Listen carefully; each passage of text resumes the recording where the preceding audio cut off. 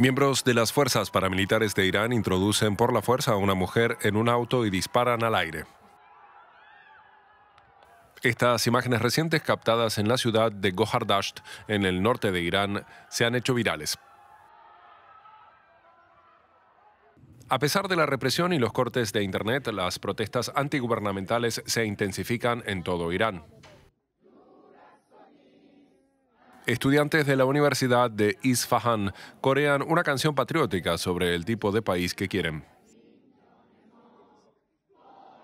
También se informa de comerciantes que se declararon en huelga. En Teherán, mujeres estudiantes corean libertad desafiantes con su cabello al descubierto. Y en la ciudad occidental de Hamadán, cientos de personas salieron a las calles. La muerte de Gina Massa Amini durante su arresto en dependencias de la Policía de la Moral desató protestas en todo el país, pero las manifestaciones se convirtieron en un movimiento antigubernamental. Un movimiento que se ha convertido en uno de los desafíos más complicados a los que se enfrenta la República Islámica desde la Revolución de 1979.